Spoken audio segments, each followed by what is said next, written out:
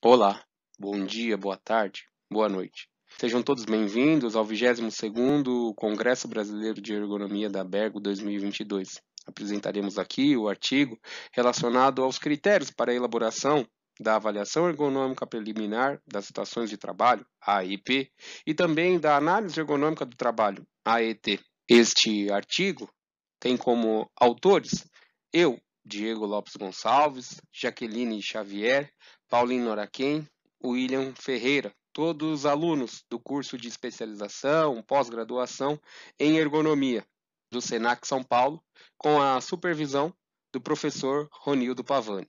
O objetivo deste artigo foi fazer uma análise do atendimento para o atendimento à nova NR17, com vigência a partir do ano de 2022, definirmos então critérios que entendemos para a elaboração da EP, assim como para a elaboração da AET. Dessa forma, usando literatura científica, literatura nacional e internacional, olhando também o manual da antiga NR17, fizemos uma análise da nova NR17, definindo os critérios para a realização da avaliação ergonômica preliminar, quando e, se necessário, a realização da avaliação ergonômica do trabalho, AET, e então a implementação de ações e registros necessários para o atendimento à NR17. Aqui trazemos o nosso entendimento quanto à NR17 e o sequenciamento, seja para a EP, essa avaliação preliminar, ou quando a norma determinar, então, que façamos a ET.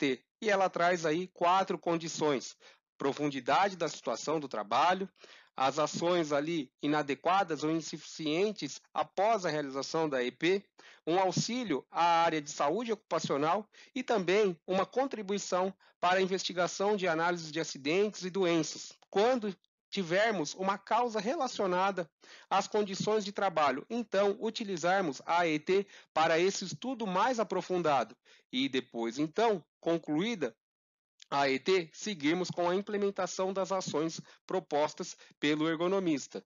Não podemos prosseguir sem trazer também uma menção rápida sobre a NR1, que trouxe a integração de todos os riscos ocupacionais, interligando, por exemplo, a NR17 quanto a riscos ergonômicos com riscos ambientais e riscos de acidente. E a NR17, em sua revisão, em seus oito capítulos, todos interagem e integram também o PGR tendo então uma gestão de SST integrada. A fim de ilustrar ainda mais o nosso entendimento quanto à nova NR17, colocamos aqui um sequenciamento de como realizar uma EP. Identifico qual é a avaliação, entrevista os trabalhadores e as trabalhadoras, um item normativo e obrigatório pela nova NR17.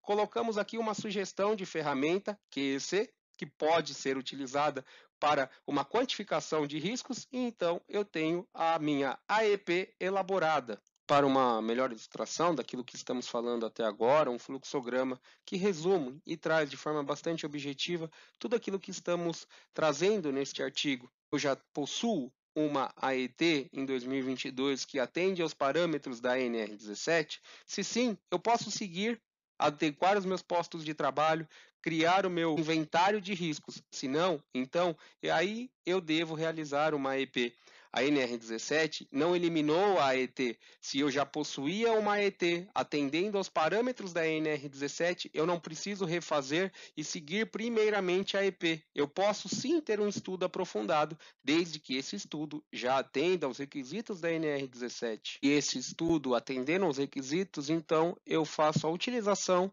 para montar o meu inventário de riscos, integrar ao PGR, o Programa de Gerenciamento de Riscos, e ao GRO, Gerenciamento de Riscos Ocupacionais ocupacionais, gerando todas as devidas evidências necessárias. Além do que, tomo as minhas ações sobre a IP ou sobre a ET e também busco, e claro, só é eficaz as ações desde que mitiguem os riscos. Então, eu chego ao fim do meu ciclo, gerando um book, um livro de evidências. Cada organização tem o seu nome particular. O importante é, além de gerar as evidências, é claro, mitigar os riscos. E diante de toda a análise aqui apresentada, concluímos que a EP traz alguns benefícios: a desburocratização do processo de elaboração da ET, a agilidade na avaliação dos riscos ergonômicos, a robustez na gestão de SST das empresas, a integração com o PGR, a realização da AET somente quando necessário, ou seja, quando de fato existir uma demanda para a AET, e então a possibilidade, a flexibilidade e também, é claro, a responsabilidade da definição da metodologia de avaliação ser pelo profissional habilitado para isso, ser realizada pelo ergonomista. E aqui chegamos ao final. Esperamos ter contribuído para a sua análise, o seu entendimento, o seu conhecimento. Agradecemos por ter nos assistido até aqui. Obrigado e até a próxima.